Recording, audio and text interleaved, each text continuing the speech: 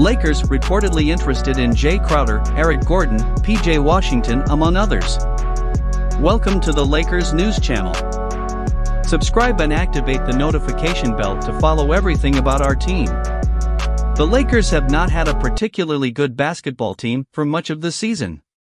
Their lack of shooting cost them early on in the season, and the lack of wings or size on the perimeter has hurt them throughout the year. At the same time, the team has a small handful of trade assets in Russell Westbrook, Patrick Beverley, and Kendrick Nunn, and a couple of first round draft picks that they have shopped around endlessly for months on end.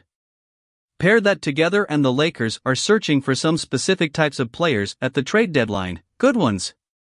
Jokes aside, there's a common theme among the players the Lakers reportedly have an interest in, as reported by Jovan Buha of The Athletic on Wednesday. In addition to the other names that have been attached to the Lakers, some others to watch that are expected to be available are Jae Crowder, Eric Gordon, Alec Burks, Terry Rozier, PJ Washington, Kelly Oubre Jr., Josh Richardson, and Jakob Poeltl, according to those sources. A number of those players have been linked to the Lakers in other reports in previous months. The team previously had high interest in Terry Rozier, Eric Gordon was seen as plan B to Kyrie Irving this summer, Alec Burks was nearly acquired at the deadline last season, Josh Richardson has piqued the Lakers' interest dating back to his time in Boston and Jakob Poeltl has been part of a reported trade package the Spurs have offered for Westbrook. Jae Crowder was indirectly linked to the Lakers previously and is a fascinating possible addition for a number of reasons largely tied to the rivalry the Suns and Lakers have had in recent years.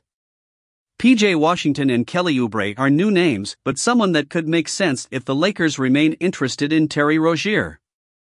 If the Hornets change course and look to tank after an 8 23 start to the season, all three Hornets listed could become available. Ultimately, what is clear from this list is that the Lakers are looking for shooters and 3 and D wings to help better maximize their roster. Write your opinions in the comments, it's very important to us. Take the opportunity to subscribe to the channel and activate the bell to know everything about our Los Angeles Lakers.